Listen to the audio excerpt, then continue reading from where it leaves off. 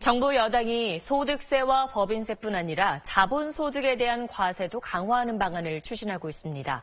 주식과 채권 등에서 돈을 벌면 세금을 더 물리는 방식인데 구체적인 내용은 이르면 이번 주에 확정됩니다. 보도에 강청원 기자입니다.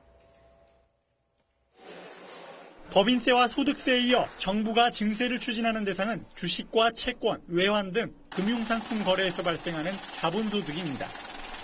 부동산 임대소득은 일단 제외된 것으로 알려졌습니다. 부자 증세를 시작으로 증세 범위와 국민 공감대를 차차 넓혀나가겠다는 문재인 대통령의 대선 공약에 따른 조치입니다. 자본소득에 대한 과세 강화, 또 법인세 실효세율 인상 이런 식으로 제시하면서 국민들에게 동의를 받아 나가겠다라는 것이죠. 우선 이자와 배당에서 얻는 금융소득 분리과세 기준을 현행 2천만 원에서 1천만 원으로 낮추는 방안이 검토되고 있습니다.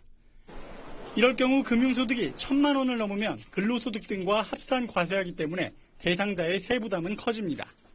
주식 양도 차익 세율을 올리고 대주주 범위를 단계적으로 대폭 확대하는 방안도 논의되고 있습니다.